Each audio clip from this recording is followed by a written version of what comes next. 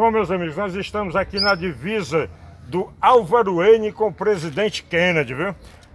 Nós estamos aqui justamente com o nosso amigo Netinho, um dos maiores criadores de pássaros estrangeiros que são legalizados e podem e devem e devem reproduzir em cativeiro. Você sabe que ave é essa? Esse aqui é um pintagol. Geralmente o pintagol que nós tínhamos aqui era o filho do pintacilga brasileiro com canário belga, né? Então resultava num pássaro híbrido chamado pintagol. Esse é um pintagol, mas não é filho de pintacilga brasileiro, ele é filho do tarim.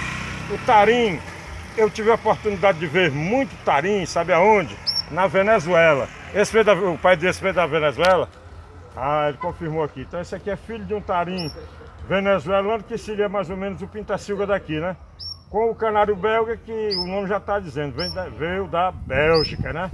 Então é um prazer, Netinho, ter feito esse vídeo com você e aproveitar para dizer aos criadores, aí você que cria pássaro nativo, rapaz, solte os nativos e passe a criar pássaros estrangeiros. Existem inúmeros pássaros aqui, no, aqui em Fortaleza que você encontra, que você pode criar tranquilamente, são permitidos criar pelo IBAMA, pela Polícia Ambiental são totalmente permitidos criar, como pássaros que vêm da Austrália, temos inúmeros tipos de papagaios da Austrália, nós temos vários e vários pássaros da África, vários pássaros da Venezuela, do Peru, enfim, da Bélgica. Agora, para rimar, se é de criar um cibitim, meu amigo, salte o cibitim e crie um pintacilga, filho de belga, filho de belga com tarim. Rimou, Netinho? Com certeza. Valeu, Brasil, valeu, Jesus, por, por